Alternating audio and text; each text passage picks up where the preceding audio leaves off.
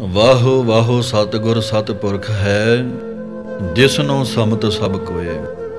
ਇਹ ਗੁਰਬਾਣੀ ਦਾ ਪਾਵਨ ਬਚਨ ਹੈ ਕਿ ਗੁਰੂ ਦੀ ਨਿਗਾਹ ਦੇ ਵਿੱਚ ਸਾਰੇ ਬਰਾਬਰ ਹੁੰਦੇ ਨੇ। ਗੁਰੂ ਕਦੇ ਕਿਸੇ ਨਾਲ ਵਿਤਕਰਾ ਨਹੀਂ ਕਰਦਾ। ਉਹਦੇ ਵਾਸਤੇ ਗਰੀਬ ਕੀ, ਅਮੀਰ ਕੀ, ਕਾਲਾ ਕੀ, ਗੋਰਾ ਕੀ, ਛੋਟਾ ਕੀ, ਵੱਡਾ ਕੀ, ਉਹਦੇ ਵਾਸਤੇ ਪਾਪੀ ਕੀ ਤੇ ਸੰਤ ਕੀ, ਸਾਰੇ ਸਮਦ੍ਰਿਸ਼ਟ ਹਨ। ਤਾਂ ਹੀ ਗੁਰੂ ਨੂੰ ਪਰਮੇਸ਼ਰ ਦਾ ਦਰਜਾ ਦਿੱਤਾ ਹੈ। ਕਿਉਂਕਿ ਪਰਮੇਸ਼ਰ ਗੁਰੂ ਗੋਬਿੰਦ ਸਿੰਘ ਸਾਹਿਬ ਜੀ ਮਹਾਰਾਜ ਲਿਖਦੇ ਨੇ, ਦੋਖਣ ਦੇਖਤ ਹੈ, ਪਰ ਦੇਤ ਨ ਹਾਰੈ ਉਹ ਸਾਰਿਆਂ ਦੇ ਪਾਪ ਦੇਖਦਾ ਹੈ, ਗਲਤੀਆਂ ਦੇਖਦਾ ਹੈ। ਬੜੇ ਬੜੇ ਲੋਕ ਅਵਗਣ ਕਰਦੇ ਨੇ, ਪਾਪ ਕਰਦੇ ਨੇ, ਪਰ ਕਿਸੇ ਦੀ ਰੋਟੀ ਬੰਦ ਨਹੀਂ ਕਰਦਾ।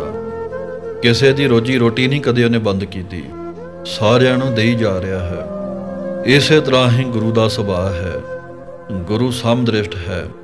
ਗੁਰੂ ਕਦੇ ਭੇਦ ਨਹੀਂ ਕਰਦਾ। ਜਿਹੜਾ ਵੀ ਉਹਦੀ ਸ਼ਰਨ ਵਿੱਚ ਚਲਾ ਜਾਵੇ, ਉਹਨੂੰ ਗਲੇ ਨਾਲ ਲਾ ਲੈਂਦਾ ਹੈ।